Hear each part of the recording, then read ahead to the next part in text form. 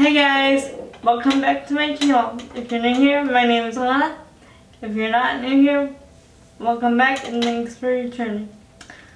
In today's video, we are going to be talking about my new shower chair. So, this is called the EZeeLife Shower Chair. The tilt shower chair. I had to think about what would go first. Um, so, oh, by the way, this is not sponsored by them or anything like that. No sponsorships for Audi Girl. yes. So, this is the shower chair, and we got this. Oh my god, specifically for the tilting, the tilted feature, because the old shower chair I couldn't really sit in. Um, it was kind of, it was not my size. And we liked the, like I said, the tilt, the tilting feature. Also, we did look into the, the Tilton brand that one of you guys recommended for us, which we do appreciate all the recommendations. However, we decided that this year we, we go with this year. We got on eBay um, from an eBay seller and the brakes, as far as the brake, they're like four, or there, there's a brake for each wheel, which those are kind of hard to get down, I will admit. And there are non, um, non-tip bars. There we go.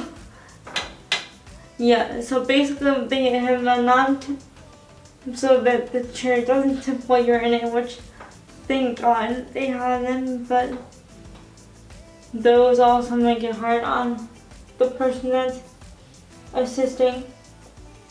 So it comes with a headrest, which I haven't used yet, but yeah, haven't used yet. Uh, so, and then it also comes with an extra belt in case somebody needs um like neck support needs to hold their head up.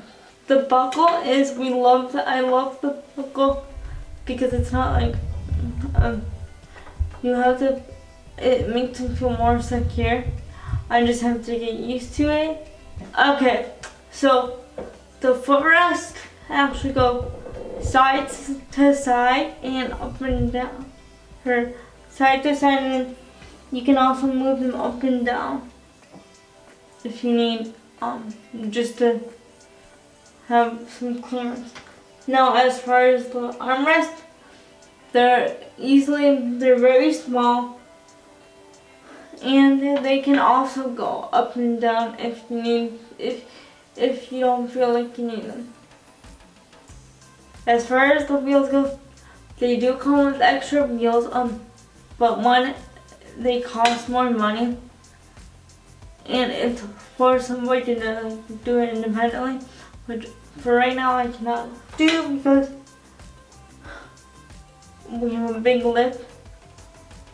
Um, so maybe once we get my shower up, upstairs I can, but for right now, I'm basically depending on my mom. One, two, I think this will be my fifth time using it. And each time I'm not a big fan of change. So, with that being said, I definitely have to get used to it.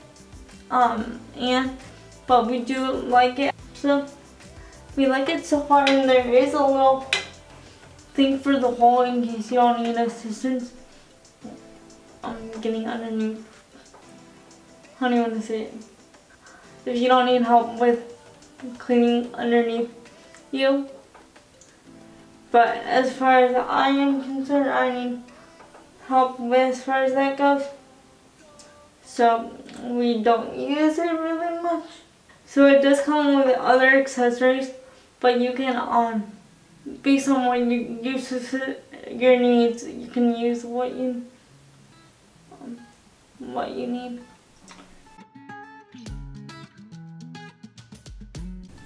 Hey guys, this is me in my shower chair. Or how I look in the shower chair.